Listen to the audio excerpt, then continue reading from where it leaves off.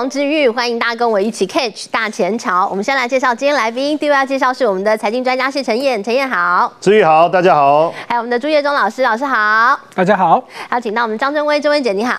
之玉好，大家好。还有我们的军事专家吴明杰，明杰哥你好。大家好，大家好。好，我们要赶紧带大家来看看哦。那么这个俄罗斯现在面临到的内斗，或许会比乌克兰的大反攻来的更为激烈哦。怎么说呢？我们带您看这两天出现了这样的一个画面，这是谁啊？当然就瓦格纳的普里戈金嘛。但他今今天怎么穿的如此轻便呢？原来是他来到了莫斯科，然后呢，他跑到了这个国防部要干什么呢？他送了一份协议进去，但是呢，他送的协议被丢出来了。他什么协议啊？原来是啊，现在的这个俄罗斯说，所有的雇佣兵集团要重新签订全新的合约，而且要交出指挥权，否则的话要视同你叛国。那普里戈金当然啊，你这么强硬对我，哎，我也有我的协议嘛，你要跟我签约可以，我也有我的条件啊，所以他就拿了他自己的条件送到了国防部，然后被丢出来。什么样的条件被丢出来啊？原来啊，它里头写了一大堆洋洋洒洒，它的条件每一项。都是要凌驾于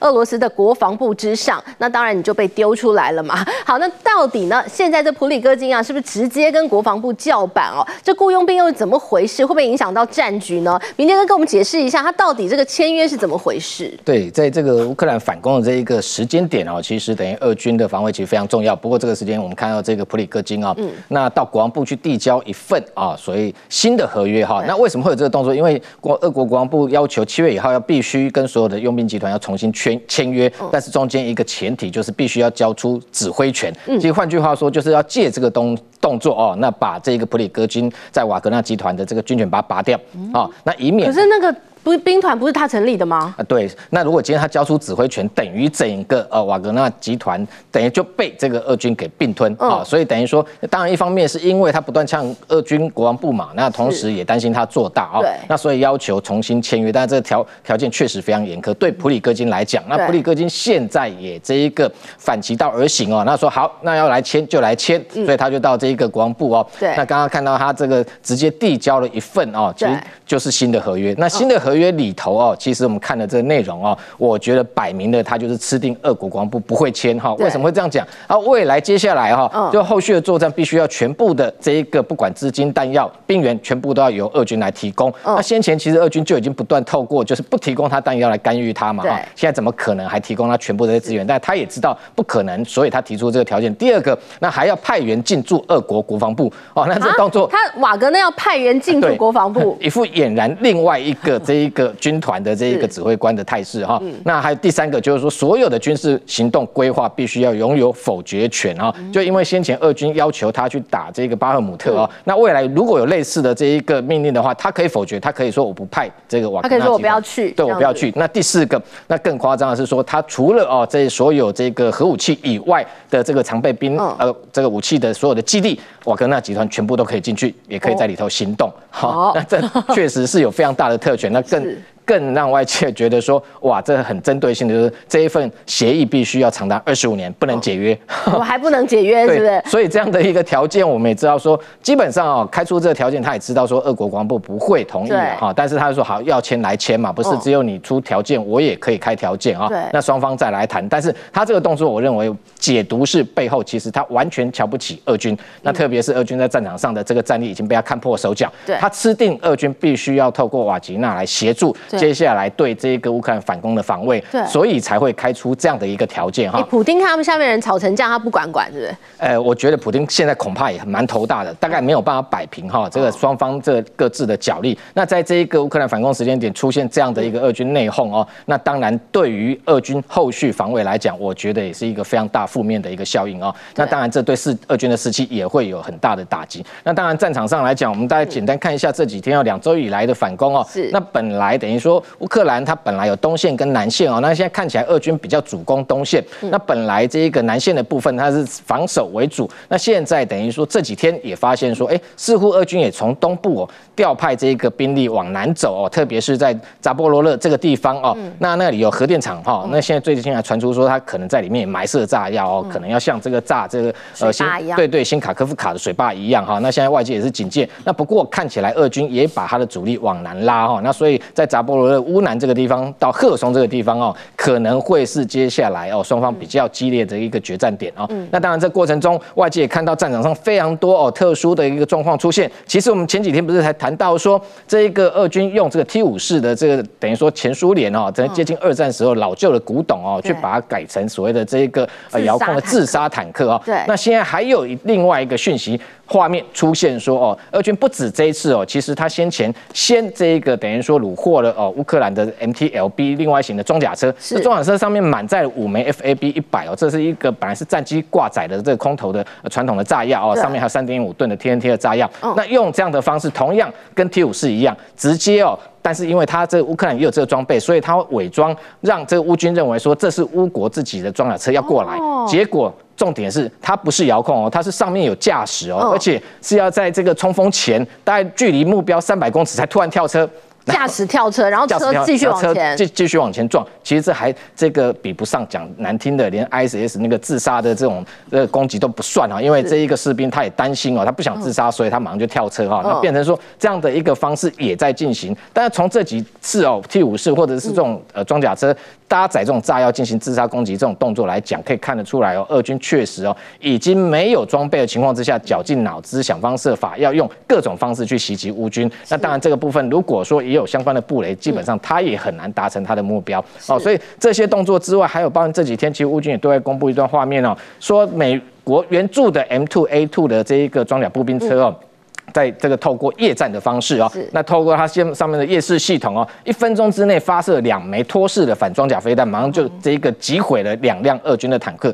那托式飞弹其实我们台湾的陆军也有啊，它的穿这个穿甲能力完全不输这个标枪哦，这种反装甲飞弹啊，那大概可以穿透到一千毫米以上的这个装甲的能力哦。那特别是为什么要显示夜战？因为俄军其实最弱就是夜战的能力。这过去一年呢，其实乌军无人机的部队也曾经对外讲到说，俄军有时候夜呃。只要这个这个一黑夜哦，就这一个等于说休息不出哦，不敢出战。天黑就休息了，对，因为他们缺乏这个夜战的装备，包含像红红外线的显示仪等等都没有。对，那现在这个乌克兰军方在这个部部分是占有优势的哈，等于说透过这种黑夜的时候来进行出击哦，那会让俄军防不胜防啊。那这当然也是他们的一个新的一个打击的方式啊。那当然还有包含像先前不是这个俄军透过不管巡弋飞弹也好，弹道飞弹也好，甚至无人机，还有甚至这个呃等于说匕首的。高参数武器去打击基辅，还有这个很多的城市吗？现在乌克兰也树立起三道的防空网啊。那当然，最高最外层大概就是爱国者三型哦，可以拦截的高度比较高，距离比较远，然后大概可以到三十公里。那现在法国总统马克龙也证实说，已经这个提交一这个一批叫 SAMP T 型啊这种防空飞弹，基本上它就是这一个。法国制的这个一型叫 Esther 三十哦，紫渊飞弹的这一个陆基版，那它的拦截高度大概也可以到二十公里哦，所以可以扮演中程到远程的这个拦截的这个呃，等于说这个立盾。那还有包含像中间，还有包含像先前美国援助的一型叫 NASAMS 哦，它大概呃比较近距离，但是它也是 AIM 一二零 C 去改造的这个防空系统。那最后一层就是复仇者跟刺针，所以有三层的层层的防护。但对于未来哦，防卫这个俄军的这个飞弹攻击，应该也会有非常大的帮助。是，所以我们看到这个战场上，现在对于普京来讲，这是内忧外患啊。这个内讧到底要怎么解决？现在看起来也是蛮头大的哦。但在战场上呢，乌克兰现在有最先进的一些武装的配备啊。那面对了这个俄罗斯，现在感觉好像面对这个大反攻，呃，你会看到有一些个别的出现，有一些让大家觉得匪夷所思、荒腔走板的状况啊。那到底呢？接下来呢？因为也有一说会认为这个反攻，呃，可能也没有那么顺利啦，可能也是要付出非常多的牺牲跟代价。但我们就持续来看进展。好，那么继续呢？我们。我们要带你来看到另外一场大战，我们常常讲晶片大战嘛，呃，这个美国用各种手段哦，去这个杜绝中国可以拿到最先进的晶片，但是呢，这个上有对上有政策，下有对策嘛，中国真的买不到吗？哎，那倒也不是啊，你有钱什么买不到呢？我们来看中国已经开始出现了晶片的黑市，好，这个黑市呢，据说就是在中国电子的第一街，在华强北这个地方，以前呢都是所有的电脑啊、科技新品啊。都在这个地方买得到，现在这里已经出现很多的黑市，在这。辉达的晶片，尤其是抢手货。呃，你到华强北去，随便进一家店说我要辉达晶片，你有没有？人家通常都是看看你是不是很可疑，然后就说有，但很贵。好，我们来看，据说在华强北这个地方，你可以买得到少量的辉达的 A 一百的晶片，这就是美国不准辉达卖给中国的。好，你要买可以，量没有很多。再来就是它很贵，现在一片的售价是两万美元。这个价格什么意思？这个价格是市价的两倍左右，所以呢，你要多花钱买得到少量晶片。这黑市到底如何运作呢？我们来问问陈燕。你只要到华强北一条街，我不知道各位有没有去过了哈。深圳过去我常去，我常常也去华强北逛，真的全部都是电子卖场。对，基本上。只有你不敢要求的，没有你买不到的。就你想买，你问他，但是你要买，你自己也不要先鬼鬼祟祟的。哦，就你进去，比如说你要这个 A 一百晶片，当然你不能拿着，哎，请问谁有 A 一百晶片？没有人理你。通常会有朋友介绍，嗯哪几个摊位买得到？嗯根据我的经验，你到了那个摊子，一定是朋友。你透过熟人，你到了那个摊位，你直接跟他先跟他报谁谁谁介绍我来的。哦哦，那还有没有？哎，那个 A 一百晶片哦，对，那对方他不会马上跟你讲有没有，他会先看看你，然后可不这个时候你最好能够有个名片或者是什么，对，然后这时候他会跟你说 OK，那你要多少？不便宜哦，对，他说我知道，那你看哦，一片要多少？两万美金呐，就是两万美金啊，台币六十万以简单讲就是贵一倍了，对，简单讲贵一倍，你不一定买得到。好，再来两倍的价格，基本上品质怎么样？不保证。不保证，不保证，就是你那你要不要嘛？基本上，而且我跟各位讲，很多的晶片有时候是一我们它可能是实价，我们常常看那个青菜不是实价吗？对，因为现在缺这些高速运算的晶片，缺的很凶，所以它也是实价。基本上，他现在跟你讲两万，你他就跟你讲这个，甚至如果你跟他讲我量要比较大，对，他给你一个报价单，他是告诉你今天有效。也就是说，你还在犹豫回去，明天再来，那又另外一个报价，因为你不要有人抢着要，毕竟这个是美国禁止进入的，对，他弄得到。好，那所以你看哦，大家就开始想说，那这就怪了。你们说华强北，那这个会不会是？假的，对不对？就是 A，我们所谓的 A 货，就是山寨，山寨不是是真的，是真的，它哪里来的？而且真的是辉达的，对。虽然不提供保修，但是绝对是正常管道弄到的。为什么？很简单嘛，因为本来就有这个需求，而且大家要知道哈，我先讲它怎么弄到。很简单，我在海外成立一家美国、新加坡海外的公司，对，对不对？我是不是可以正常跟美国进货？我在新加坡，我在中东、沙特阿拉伯。那你怎么弄回中国？好，简单嘛。对不对？简单吗？就是走私就好啦。你知道什么叫走私吗？走私就是我透过其他的管道进去。那很多人说，怎么可能？你你你，包括哎，也有在台湾、印度、新加坡的公司哦，跟美国进口。台湾目前还是很可以，对不对？好，怎么走私呢？在台湾到大陆渔船呢，不用两颗篮球，你就渔船过去就上去啦。好，所以有没有这样的管道？我跟各位讲，行之有年。因为市场有庞大的需求，那就有一些地自然有有有管道。好，比如说你呃，我们讲瑞士手表，我们讲南韩的化妆品，嗯，甚至过去。中国大量需要一些燃油的时候，对，其实都有一些走私的管道，水货。那当然你不要笨到像这个孕妇一样哦，我们不要笨到像这个孕妇一样。当然我对孕妇没有任何的这个是一个最近在中国的走私的人实际的案例，他假装自己是孕妇，然后他肚子里假肚子里藏什么？好，但是一般来讲，你有几个动作？第一个，你一定会。稍微扶一下肚子，走路腰很酸，你稍微会斜挺斜的，对不对？嗯。可是他不是啊，他就因为海关也不是说，哎，看这个怪怪的。对。马上里面你知道很夸张，两百零二颗处理器。他的假肚子里面藏两百零二颗处理器，九支智慧手机。他就是用这样的方式。但是我要讲正正常的走私就被抓到了，不是这样。对。所以因为太缺了，整个晶片市场飙到五百倍。嗯。我要讲哦，这个也要小心哦。为什么？过去在中国。汽车产业也曾经发生这样的状况，也就是说，有一段时期不是疫情之后突然之间供应链这个晶片短缺吗？对，那他们又在推汽车下乡啊，什么什么，芯片缺的要命，黑市晶片流入车厂，甚至连中国的汽车业哦，嗯，他直接跟德国的加工商博士说，哎，我可以低下拿到黑市晶片，你直接帮我装上去。嗯，还好德国大厂不愿意啊，要不然这些晶片很可怕，有一些 ABS 晶片防锁死，它真的防止你锁死是完全锁不住啊。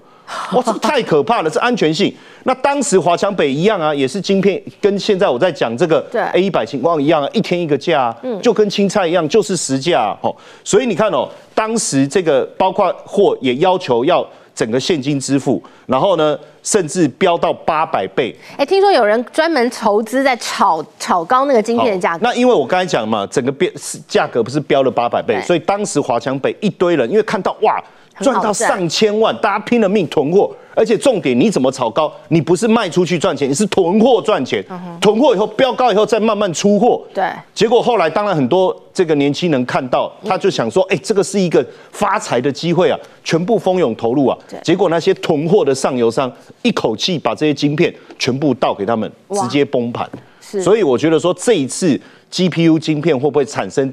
像之前汽车晶片的乱象，嗯哼我觉得有的巧。是，所以呢，我们看到现在这个晶片的问题啊，因为禁令哦，所以已经出现了中国的地下黑市了。那当然呢，刚刚这个陈燕讲了，过去曾经有类似的状况，到最后呢，呃，很多这个囤晶片、这个炒晶片的人是血本无归。那这一回呢，因为中国真的很缺，这个黑市还会如何运行？我们再来看哦。好，那么另外一个要带大家来看到的是，我们看阿里巴巴。阿里巴巴历经了过去几年啊，你会觉得风风雨雨，然后它沉寂。多时都没有以前那种讲到阿里巴巴，你就觉得哇，这是中国的希望，这是中国最棒的企业。但是我们来看，现在要有新风貌了吗？因为马云做了一个重新的安排。好，马云出手来瞧他整个高阶的领导阶层的一个组合。我们来看他找回了谁？他找到了这来自台湾的蔡崇信。蔡崇信其实当年就是阿里巴巴在整个成长崛茁壮崛起过程当中非常早期的成员。那他当然啦，这个阿里巴巴很好了。之后，哎，他去找他自己的路了哦。蔡崇信呢，后来他的创业是，他成为了第一位华裔可以买下 NBA 球队的哦。现在 NBA 篮网队就是他的球团。另外，他还买了一支叫纽约的自由人队，这是一个女子的一个篮球队。好了，他把这位这个蔡崇信又给找回来，要担任什么呢？他要接任的是董事会主席了哦。好，那现在呢，马云又把他的一个这个组合班底调整回当初的创业班底。到底为什么？接下来的阿里巴巴有什么样的新计划呢？钟伟，好，我先回答至于第一个问题。最主要，这次马云退休的马云居然回国哈，很重要的，真的他面临一些重要的危机。大家都知道，整个全中国它的互联网有 BAT 三大嘛哈，但是其实。靠这个淘宝跟天猫起家的这个阿里巴巴，现在碰到一个重大危机。那危机也就是说，在新起的，比如说抖音，嗯，比如说拼多多，还有甚至包括京东，人家那个这个这个刘强东也赶快回国了。所以在这里面，其实他碰到一个生死存亡之战。嗯，所以在这个时刻点，真的也不开玩笑。大家看到的只是马云，你终于回来了哈。那你一家上市之后变成六家上市，你不是很 happy？其实错了。他第一件事情最重要要解决他现在的危机，而且马云呢，在对内部的谈话里面，他。说他现在面临的危机像什么呢？像是时代的眼泪。他说，Nokia 做手机的 Nokia，还有像是柯达相机的柯达，那个他居然能够在半年到一年之内，从这个企业的标杆居然。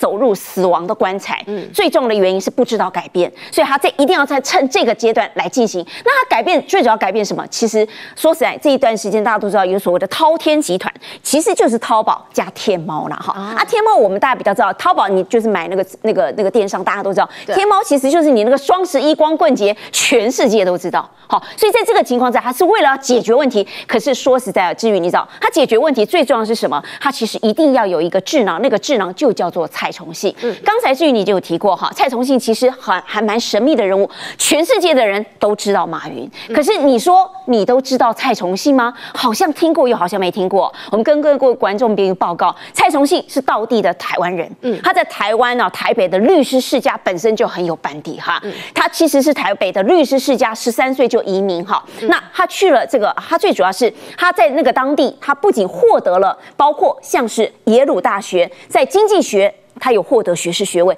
甚至在法学他获得博士学位。他其实坦白来讲，他出生就是一个人生胜利组。可是你知道吗？他人生做最疯狂的一件事情，那叫做投资马云，这也是他最大的一桶金哈。那还有蔡崇信这个人，他讲很多人讲说，像今天早上我们的那个这个制作单位就问我，哎，蔡崇信是谁哈？观众朋友，蔡崇信，我只能说他有几个重要定位，他就是马云的知音。嗯，哦，全世界如果你要说马云的知己是谁，你只能说就叫做蔡崇信。为什么嘞？哈，他当时我们只能说他做了一个最人生最疯狂一件事情。哎，如果哈我我是做不到了哈，我不晓得是你能不能做得到。如果有年薪七十万美金，那个是多少？年薪是两千万台币。哦，不管年薪这样子哈，这么把七十万美金要邀请你去当一个呃这个投资啊，这个瑞银哈重要的一个投资哈，这里面很重要的大咖。你要接这个工作，还是要去当年的马云？现在你可以看到，你阿里巴巴当然现在是很大，可是当年哈阿里巴巴马云就被他吓一跳，因为当时他只能付得起他五百块的月薪人民币。在这个情况之下，这就是他蔡崇信独到的一个眼光，所以他放弃他那七十万美金的年薪，然后去跟马马云创业。而且你知道他本身世家本来就八股文，哎，他在出道之前他就已经是纽纽约州的职业律师，哎，哇，那这样，哇，他本身其实政商他通通都是有的，所以。你就知道这个人独到眼光。你知道为什么做这个疯狂的事情呢？因为当年蔡崇信哈，他第一次一九九九年去了那个杭州去跟马云谈天哈，他说着他第一次惊为天人。嗯，他说他从小到在美国看耶鲁大学看过那么多的精英，他没有看过像马云这款草根的精英啊，很特别啊。马云非常会说话，好多人都是被他的口才说包括孙正义。我跟你讲，靠靠几个锤的，好绿绿，好绿绿。我跟你讲。不是要骗全天下的资金，但是基本上做到这个蔡崇信就上钩了，而且从此变成一生的伙伴。你知道目前为止啊，蔡崇信帮他做了哪几件事情？是从一九九九年开始，马云当时阿里巴巴完全不一样，他居然成为阿里巴巴创始十八罗汉之一。而且你知道观众朋友，那时候马云退下来，他也跟着退。马云退休的时候，他当时有一个重要的地位，除了马云，没有别人有，也就是他成为阿里巴巴唯一要跟马云一样是合伙人。全永久合伙人，那你看他有多厉害？他最主要是钱袋子啊，以及地下军师。目前为止，所有呃，我们必须要讲。马云自己所有的构想全部都来自于他，我继续，我必须要这样讲。你看，他一九九零年出来，他家里阿里阿里巴巴，他整个包括淘宝、包括支付宝那些新的 idea，全部出自于蔡蔡崇信。另外一个部分，两千年的时候，那时候碰到网络危机，大家都知道，全部都冰冻，大家都不能活，所以他当时他自己主动去找了软银。孙正义一听了马云好买单，立刻两千万美金就入口袋，解救了当时让他活下来。而且后来两千零七年在香港上市，二零一四年在纽交。交所上市全部都是因为蔡崇信，所以很多时候很多人讲说，那时候马云退休，蔡崇信要跟着退休，他后来跟着退。可是这一波这一次马云碰到危机，再出再次重出江湖，他也带着蔡崇信。我相信蔡崇信过去历次帮他解决危机，他也相信未来阿里巴巴能够安全的度过危机，而且说不定。翻云覆雨，重现江湖。对，所以呢，我们看到了，在这个企业碰到了这个没有办法决定方向啊，感觉未来有点迷茫的时候，好像还是得要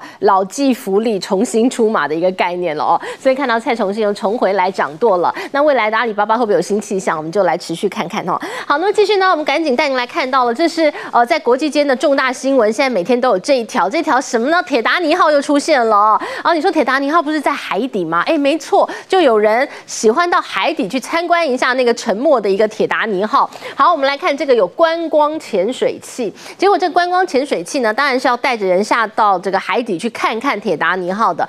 结果呢，它失联了，消失。那上头载什么人就很重要啦，载了一个超级有钱人哈。好，那时间点呢是在六月十八号。那他就坐着这个呃这个所谓的一个旅游的潜水器，然后呢就很像我们到海底去看看海洋世界，他是要去看铁达尼号啦。然后他失联，现在。已经进入第三天了，呃，这个船上头潜水器上头的氧气所剩无几啊，上头载的呢非常知名的英国的亿万富豪，那现在还是找不到人，于是就有人讲了，这铁达尼号当年的诅咒怎么到今天还是如此？听起来毛毛的，到底呢这是怎么回事啊？铁达尼号至今还有很多未解的谜题哦，朱老师。好，我们先了解到铁达尼号是一九一二年沉没的，好，那沉在什么地方呢？如果以从美国的东岸从麻州往往外海推大概一千四百五十公里的地方。好，那深度大概就是三千八百公尺到四千公尺这么深。嗯，所以也就是说，一般人你靠单纯潜水是绝对潜不到的。嗯，所以你一定要有潜水器。哎，可是你注意哦，它叫潜水器，不叫潜水艇。嗯，差别在哪里？对，潜水艇指的是你可以自主操作，可是潜水器是要在。还在海上的船帮你操控，嗯，哎，那也就是说它相对是一个简单的设备，对，所以也就是为什么这一次会出问题，最大的关键在这里，嗯，它是一个比较简陋的设备，不是那种军用，我们看到很厉害的潜水。它简陋，可是它下去玩，它入场券要七百多万呢。哎，基本上因为它难度有很高，你要沉到海底三千八百公尺以下，哎，你一般的潜水器你也达不到，是，所以呢，就是有这种私人的公司，哈，这次出事的这家公司叫。海洋之门，它就是专门玩这种。嗯，当然你要去玩，代价很贵，二十五万美金就是七百多万，将近八百万台币，所以一般人绝对玩不起。好，那问题是你要去玩也就算了，你还要负很大的风险。我们刚刚说了，因为它即便能够沉到这么深，它不是一般的那种潜水艇。因为你想，私人公司你要那种军用潜水艇那种规格，你怎么可能买得起嘛？所以它只能用这种简单的潜水器。那最大的问题是它为什么不能在水里操控？嗯，因为它没有水里不能用 GPS 啊。嗯。你沉到那么深，你还有哪来的 GPS 可以操控？对对，所以它必须在海上有一艘船去帮你操控、指挥你。可是你想，你沉到那么深，有什么状况会不会影响通讯？嗯，就是这样子嘛。所以就失联。对，他沉下去一个多小时以后就失联了，嗯哼，一直到现在。所以他现在到底是生是死不知道，也许有可能没有问题，但是呢？照理说，如果没没事的话，应该至少也要浮上来的。可是显然的，你看六月十八，今天二十一号了。对。哎，Daylight 快到了，因为里面的氧气最多只能九十六个小时，四天。嗯。今天已经三天了，哎。对。所以也就是说，它最多只剩一天的时间，如果还没找到。对。那就拜拜了。好，那话说呢，你要去做做这些事情，照我们刚刚说，一定要超级有钱人，你才有办法付二十五万美金呢。所以现在大家就最瞩目的就是里面坐了一个人，叫做哈定，他是英国的亿万富豪哦。这个人呢，好，我们就不要走太远了哈。几年前是美国几个公司都在设太空船到外太空去，他就是其中一个。他参加的就是贝佐斯的蓝色起源，他是当时的四个乘客之一耶。哦，他敢玩这种东西，所以相对这个，那对他来说当然就是小 case。所以他其实喜欢玩命的人。对，好，而且他个人有三项金世世界纪录。嗯，第一项，全世界最快在四十六个小时之间南北极绕一圈。哦。开飞机哦，自己开飞机哦，自己开飞机啊？对，四十六个小时，南极到北极，地球绕一圈四万公里。哦，好，那第二个呢？他这一次都要说乘这个小 case，因为他还经曾经乘过马里亚亚马 马里亚纳海沟，那是一万多公尺深，而且呢，乘过这个不稀奇，他还创下两个纪录。第一个在里面沉最久，他那时候在海底待了四个多小时。嗯，所以你想嘛，这次已经三天了，对，讲的就是出事了嘛。对，上次人家去四个多小时就回来了。好。再就是它不止沉下去，还在水里走了四点五公里，哇！都是金氏世界纪录，显然他很敢玩命。好，所以话说回来，那为什么要做这些事情？除了好奇之外呢？这么多年来，哈，你看了一百年了哦，哈，大家都不断要去探索这个铁达尼号，为什么？因为船页里面有很多很值钱的东西。来，我们看到帮大家整理这五项，我们就不一个一个去讲哦。其中大家比较注意到，第一个粉红钻，哇，这到底有多大颗？粉红钻基本上以钻石来说，里面是最值钱的了。它到底值多少钱？我们不知道。对，好，那可。可是最值钱的其实是最右边这幅画。好，这是法国的画家布隆戴戴尔，他在一八一四年画的这一部裸女画。嗯，大家如果有看过《铁达尼号》那部电影里面，哎，是不是在里面就是去画裸女嘛？好，当然不是完全一样啊，但是大概就是有这种意味在里面。这幅画呢，预估现值大概是两百三十万英镑，和台币将近一亿喽。可是我觉得，如果真的打捞出来，应该不止这个价钱了。对，我们它只是在水里那么久，应该坏掉了。呃，这就不晓得了 哈，因为。最近也有一个新闻啊，有人去潜水打捞到一只劳力士的手表，哦，好，而且那个手表已经外面已经整个结晶，还有长了一些东西，可是它还会动，真的，还会走，这是不是劳力士的广告？呃，大家是这么怀疑，就是跟当年的 LV 的皮箱的广告可能有类似的情况。好，那问题就是，你除了大家去探索这件事，这个。这个潜潜潜水的呃不沉船之外呢，另外大家也很好奇一件事情，因为大家觉得当年的这件事件真的是疑点重重啊。对。好，因为如果你有去看过那部电影，或是你在网络上搜寻一些相关的记录，当时都跟你宣传说这艘船是永不沉没，甚至说连上帝都弄不成。对。因为他说我有十六个。隔水闸门、隔水舱，他说，除非同时坏掉四个以上，我才有可能去沉。但是还是沉的啊！哎，那为什么会沉？那当然，我们如果看电影都知道，它是撞到冰山嘛。可是又有一个阴谋论说呢，事实上那是骗人的，因为呢，它同时间有另外一艘。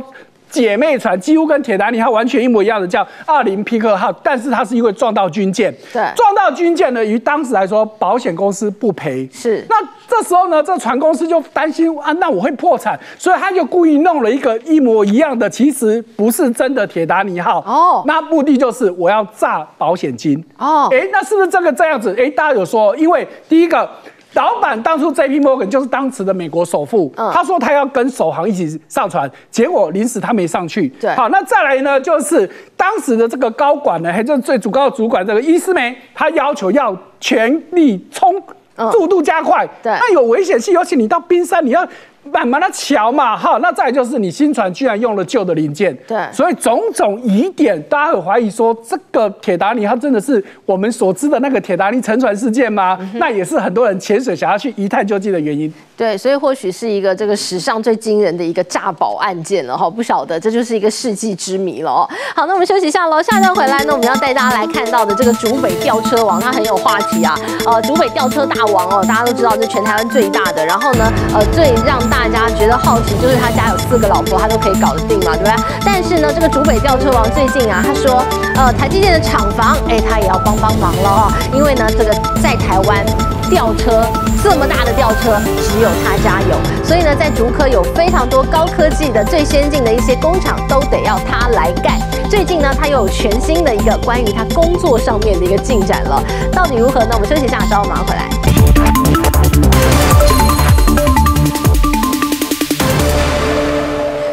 来，我们要带大家来看看这个话题人物了哦，这是竹北吊车王啊，大家应该听过他响当当的名号了吧？我们来看，就是这位启德机械的董事长叫做胡汉言，呃，那当然呢，这他有很多的一些这个花边新闻哦，说他家里四个老婆，然后呢，哎，这个粉红知己无数啊，然后呢，哎，家里头住的豪宅，但是呢，我们今天要带大家来看到他在事业上也非常值得大书特书，台积电在宝山扩厂，而竹北。吊车王呢，他也有好大一片地，他的一个这个启德机械呢，他过去的大工厂也在宝山这个地方，他就有感而发啊。他说这个台积电到哪啊，都是这个点地成金啊。台积电说要来扩厂了之后呢，他说在宝山附近整个都开发起来了，房子也开始盖了，生活机能也起来了。而且呢，他说既然有这么多的一些这个工厂都要在台湾设厂，所以呢，他最近又大手笔再花了一点五亿元，再去添购了两。辆高空作业车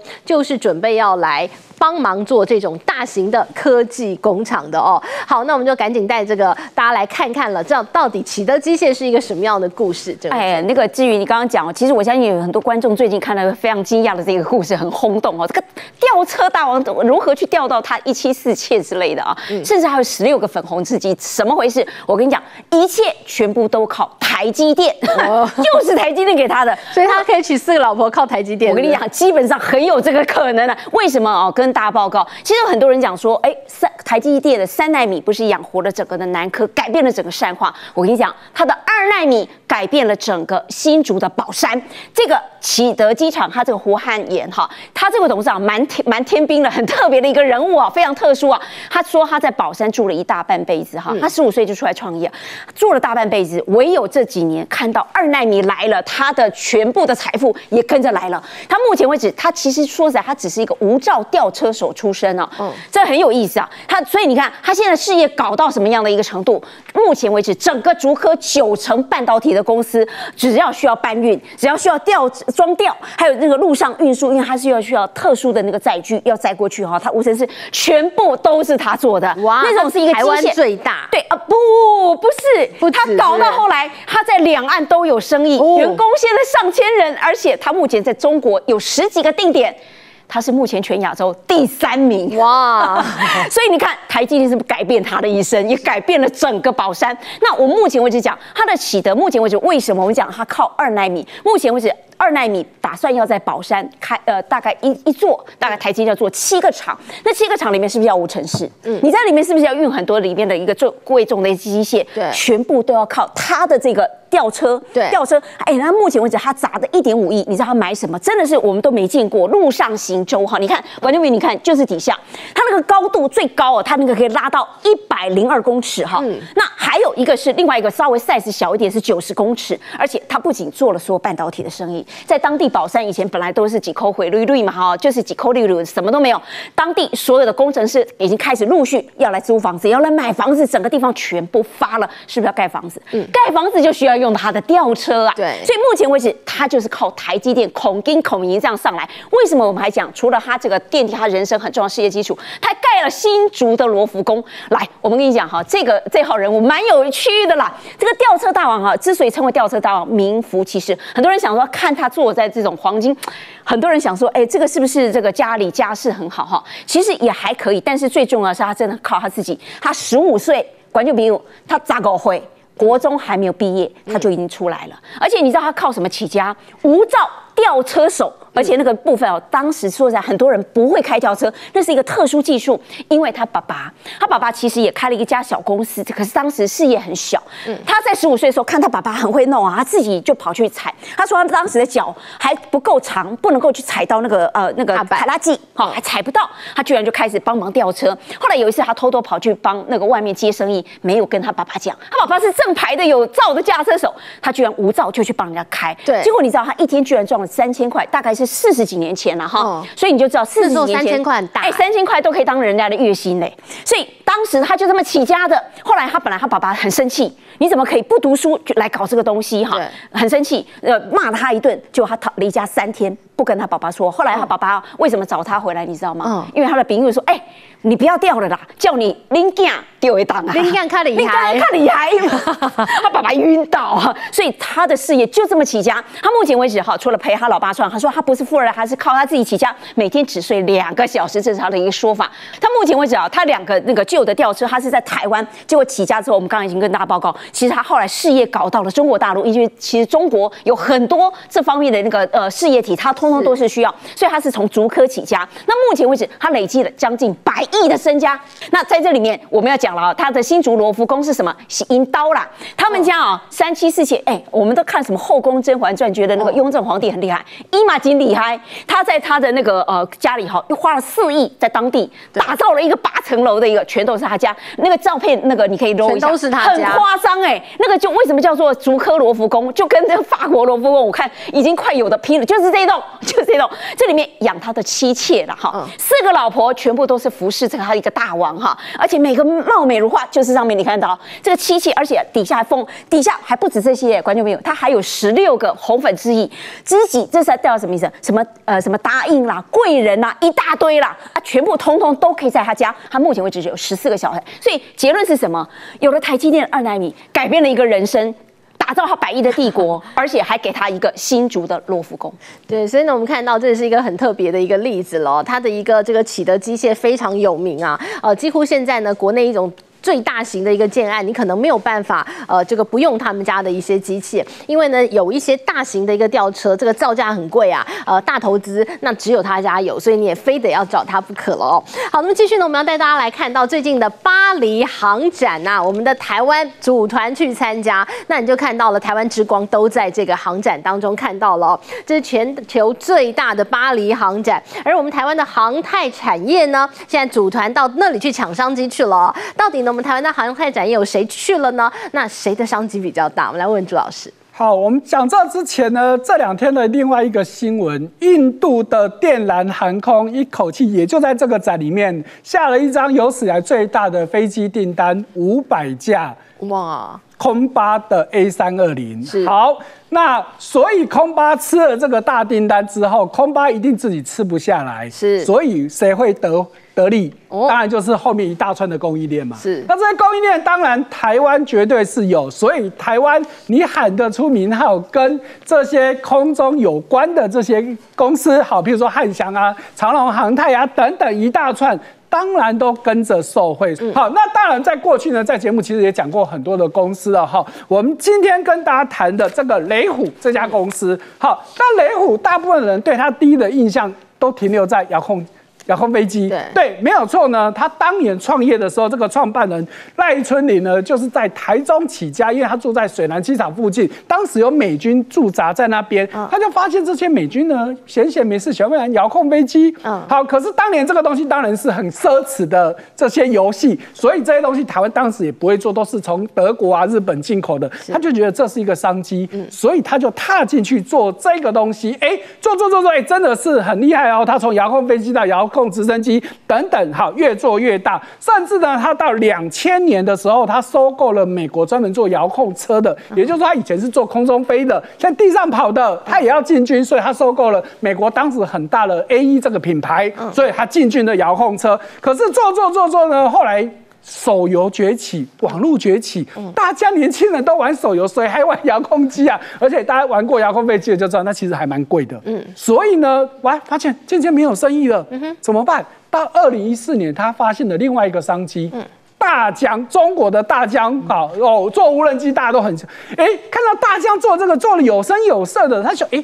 无人机跟我的遥控机原理很像嘛，所以你会做，那我也会做，我也进军，甚至当时在欧洲，他的分公司就代理大疆哦，哎，所以确实他也赚到。可是后来他又发现又不对了，你打不他打不赢大疆啊，因为如果对无人机，首先你就大疆是市场第一品牌，而且市占率非常高，而且大疆不断的出新机之后旧机就。大降价是降到跟他的成本一样，他没办法做生意嘛，所以他这时候想啊，不行啊，我再跟着你屁股后面，我哪有生意做？我怎么打我也打不赢你大疆，所以这时候他又看到了另外一个商机，无人机我打不赢你，那我做无人载具。是不是类似？嗯，无人机跟无人载具听起来很像，对不对？无人机就是纯粹就比较上去空拍啊什么。对。载具意味着我体积要更大，我可以载东西。对。哎，这就是另外一个商机了。所以它就转进无人载具。好，那更大的转机就是他在二零一九年的时候，他跟中华电信合作，做什么事情呢？空中基地台。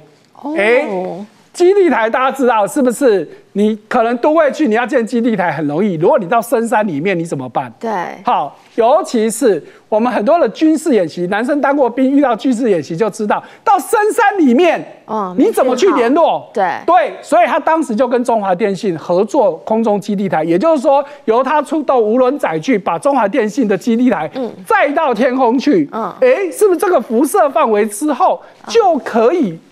有在这个辐射外就可以通讯的，对，哎，所以呢，后来军台湾的军方演习的时候就采用了这个东西，让他发现说，哎。军用设备也是一个商机嘛，所以他开始进军军用无人机。所以你可以看到，哎，这一波下，你会发现它不断的转折，不断的转折，不断的有新的商机。尤其你看到俄乌战争一爆发，无人机是我们之前明解释也常在讲，比无人机是个非常非常大的商机啊。可是无人机毕竟门槛很高，技术很技术很困难，所以他这时候又开始又想到另外一个商机。所以真的做生意哦，你就是不断的转哈。开始看到天上坐着一大堆，那水里面呢？哎，我们前面是不是讲这个铁达尼号探索？所以我水下无人载具。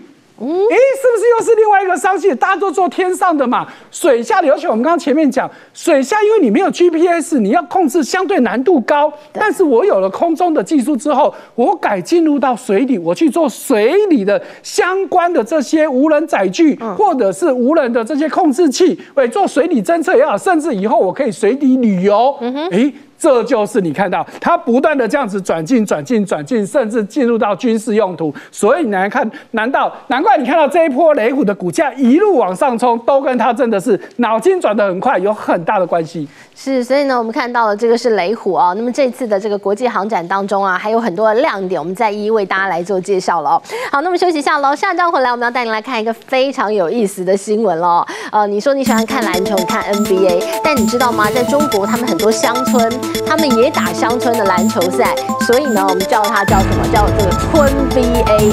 村 BA 最近啊有一场比赛在贵州，厉害到啊，它的一个点阅数超过三十亿，比 NBA 还厉害。现在不仅仅是轰动了全中国，轰动全球啊！这个村 BA 到底是如何运行的？我们休息一下，稍后马上回来。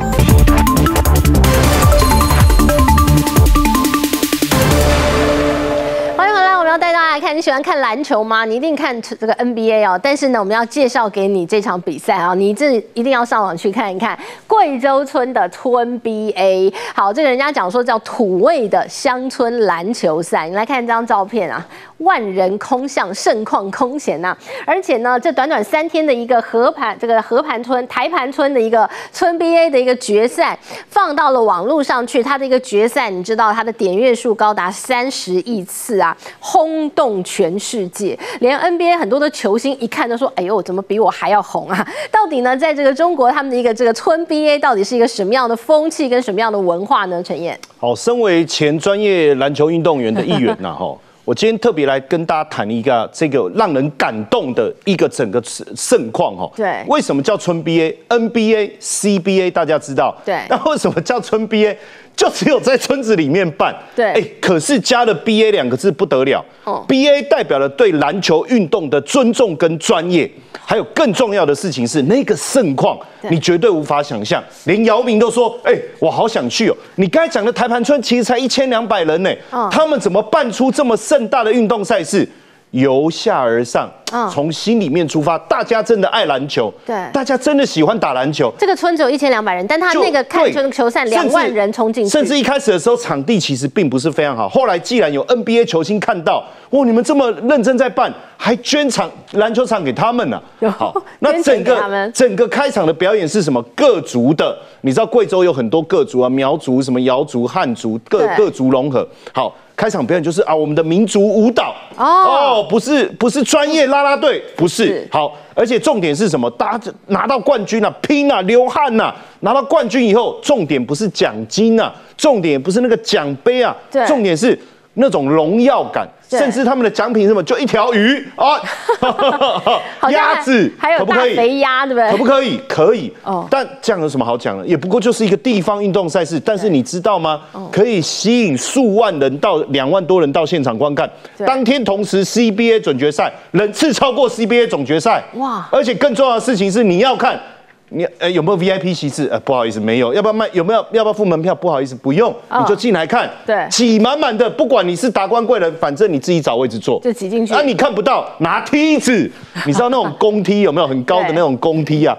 哎，你知道还有人在看比赛的时候进好球不敢拍手，为什么？因为他抱在树上。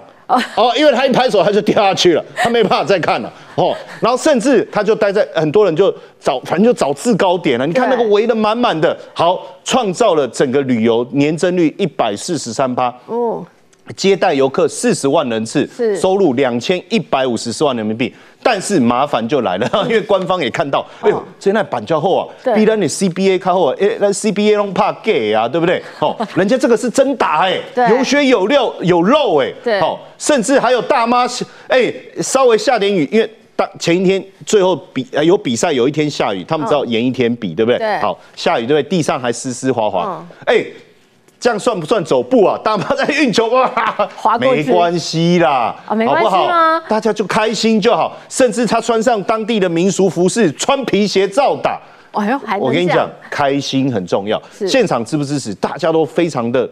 热烈，当然官方会觉得说，哎，比我们办的好太多了吧，对不对？我们假的一但官方他们连新华社都写篇专文称赞他，真的非常称赞。说他这个叫土味的而且我跟你讲，其实也不止哦，很多的村也开始带动。那因为做村的这个村 BA 真的会带动品牌的效应嘛？是，因为你很多老板就说，哎，那我来赞助，我来赞助，对不对？那你要赢，你才能一直出现嘛？对。甚至我们在画面上既然看到，这是你们的村民吗？你们的村民也有黑人呐，甚至他们还有佣兵是？哎，还有佣兵团呢，甚至五村民五个都是外国人士啊，然后甚至大力挖角前 NBA 的球星呐。